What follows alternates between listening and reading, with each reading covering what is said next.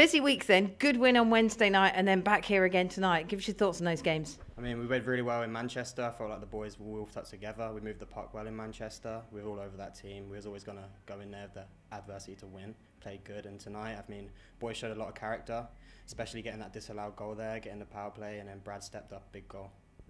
Good to have you on the team this year. What's it been like for you so far? Uh, I'm really enjoying it. A great bunch of guys. Everyone here all gelled together well. There's no egos in the locker room, which is brilliant.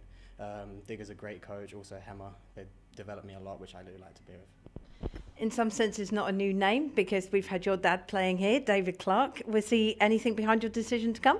Um, he did speak with Digger in the summer. He spoke with, they did speak, sort of exchanged a few phone calls and stuff. And then I spoke to my dad and heard there was an opportunity to come here. And I mean, it was almost a no-brainer as I was going to step down to the second league and to get an opportunity to play in this league is always what I wanted to do. Hockey always wanted, wanted to do then, following in dad's footsteps?